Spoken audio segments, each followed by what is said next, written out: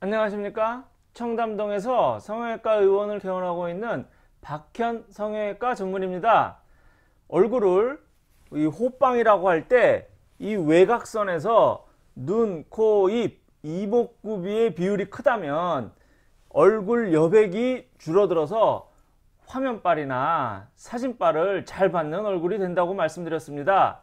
즉 눈이 크게 된다면 어, 여기 노란 점선 원에 이 눈가 여백이 줄어들어서 상안 면부가 작아 보일 것이고 또한 코가 크다면 즉 여기 빨간 화살표 거리가 길면 코 옆 여백이 줄어들어서 파란색 화살표인 중안 면부가 작아 보이고 왼쪽에 입이 작은 여자하고 오른쪽에 입이 큰 여자하고 비교해 보시면 왼쪽 여성의 입과 여백이 커서 얼굴이 커 보이는데 이는 빨간 점선 사각형에 하관을 노란 점선 사각형의 입술이 얼마나 채우느냐에 따라서 하관 축소 효과가 나타난다고 말씀드렸습니다.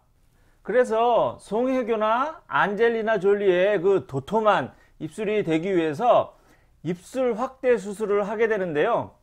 그 인터넷 후기에 이렇게 보니까 어, 안 하는 게 좋아요. 닭똥집 같아져요. 하고 어, 하는 말이 있더라고요. 어, 그런데 혹시 여러분 뭐 닭똥집을 아세요? 어, 뭐 요즘엔 치킨 하면 뭐 이러한 양념치킨을 떠올리십니다만 제가 어렸을 때인 뭐 60년대나 뭐 70년대 초반까지만 하더라도 그 아버지가 퇴근길에 사오시는 그 이러한 전기구이 통닭을 주로 먹었는데요.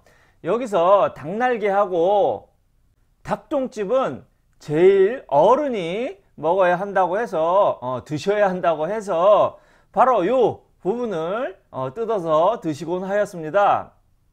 그 인터넷 후기에서 입술 축소 수술 부작용으로 닭똥집이 된다는 분은 아마도 이러한 입술을 말씀하시는 듯한데요. 눈이 커져서 얼굴 여백이 줄어들어 보이듯이 입술이 확대되어 입술 옆 하관 여백을 줄이고 싶은데 이렇게 닭똥집이 된다거나 또한 오리 입술이 된다거나 흑인 입술이 되기도 합니다. 그래서 지난번에 입술 필러 부작용으로 오리 입술이 되는 이유에 대해서 말씀을 드렸는데요. 오늘은 입술 확대 수술을 해서 송혜교나 김혜수, 뭐 안젤리나 졸리와 같이 도톰하고 예쁜 입술이 되지 않고 탁동집 입술이 되는 이유에 대해서 말씀을 드리겠, 드리겠습니다. 여기 세계적인 입술 미녀 안젤리나 졸리 사진이 있는데요. 참고로 보시면 이 왼쪽 얼굴에서 눈동자에서부터 눈썹까지 이 전태궁이 굉장히 어, 머네요. 그 각설하고 왼쪽은 입술이 트레, 트레이드 마크가 될 만하다 그 합니다만 오른쪽에서는 입술이 두껍지 않아 보이지 않습니까?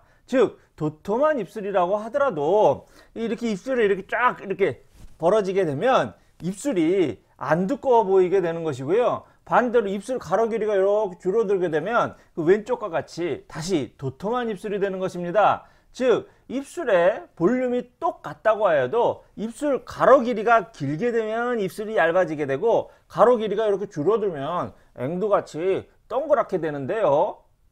얼굴 표정 근육 중에서 입술의 가로 길이를 늘리는 근육이 이 왼쪽 그림의 대광대근이며 입술 가로 길이를 줄이는 근육이 오른쪽 그림의 입둘레근인데요. 이 입둘레 근육은 이 관략근 스핑터 머슬로서 이게 꽉 오므라들게 되면 입술 길이가 확 줄어들고 반대로 입술 두께가 증가한다면 흡사 닭똥집 모양의 입술이 발생하는데요. 사람에 따라서 하체 근육이 발달한 사람이 있고 상체 근육이 발달한 사람이 있듯이 이 입둘레 근육을 많이 사용하는 얼굴형에서 입술 확대를 하면 닭똥집 입술이 발생할 가능성이 많고요. 또 50년, 60년 이런 자, 이런 어, 폈다 구부렸다 이, 이, 이 작용이 지속이 되다 보면 이렇게 입술 세로 주름이 많이 생기기도 합니다. 여기 일러스트의 입술이 바로 입둘레근이 꼭 이렇게 쫄라매고 있어서 입술의 가로 길이가 이렇게 짧은 입인데요.